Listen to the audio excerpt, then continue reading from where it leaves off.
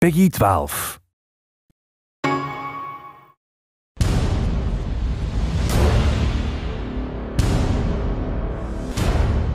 Hi, this is Tim Schwalk, producer on Heroes of Ruin at n-Space, and today we're going to focus on multiplayer gameplay and the Gunslinger.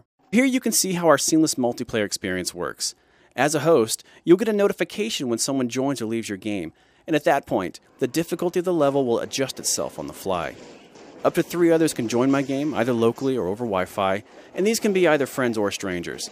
You can voice chat with friends over Wi Fi, and you can even talk to non friended players if your system's parental control settings allow for it. Here's an example of a simple strategy you can use when you combine a ranged character with a melee character.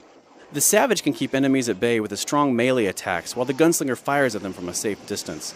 There are, of course, more in depth strategies where specific powers are concerned, but this is a tried and true way to combine forces.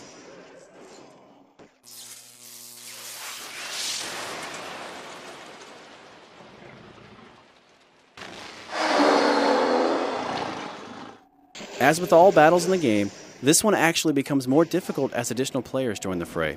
Of course, with additional allies, you open yourself up to all sorts of strategic advantages.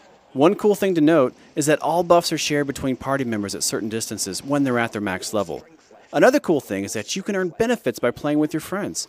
As you play with a friend, you can level up your friendship rank, earning boosts that only exist while playing with that specific friend. For example, if Tony and I are level 1 friends, then our health and energy will replenish as we hit checkpoints, but only if we're in a game together. The bonuses only get better from there. Heroes of Ruin is a lot of fun when playing alone, but the full potential of the title is unlocked when you join the quest to cure Ataraxis with other gamers. Watch for Heroes of Ruin coming soon exclusively to the Nintendo 3DS.